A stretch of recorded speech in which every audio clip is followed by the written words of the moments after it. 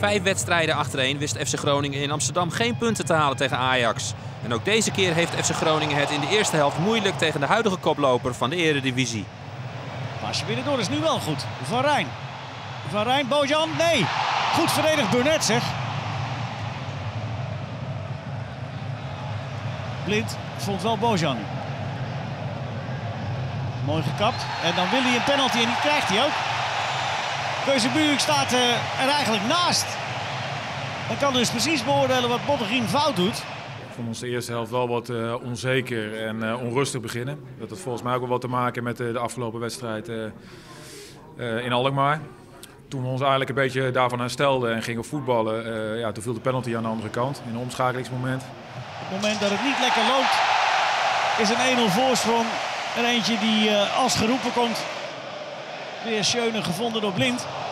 En die schiet dan Klaassen op de lat in de rebound.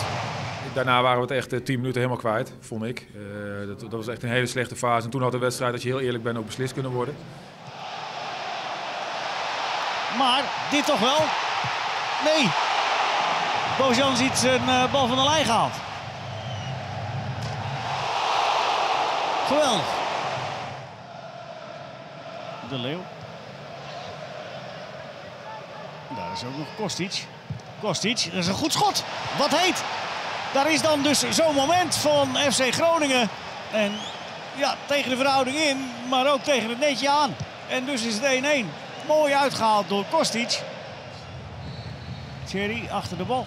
Wordt veel bewogen. Bal strak op de lat. Die lat heeft al wat te verduren gehad. Eén keer Klaas, één keer Schöne, nu ook Thierry in de tweede helft.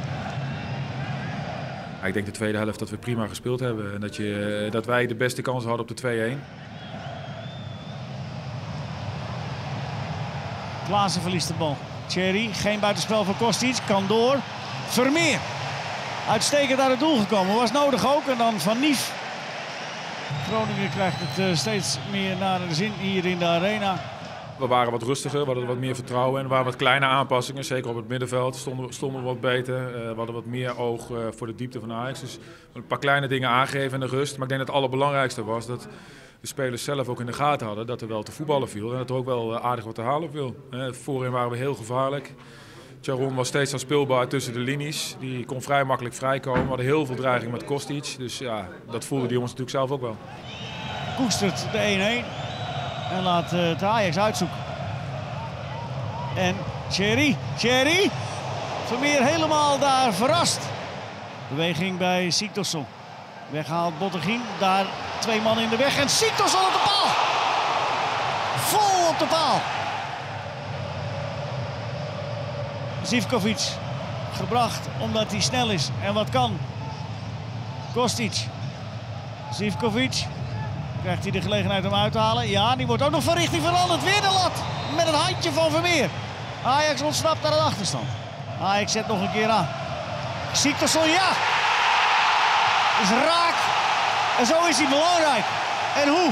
Complimenten voor Groningen en de punten voor Ajax. Ajax Groningen eindigt hier in de arena in 2-1.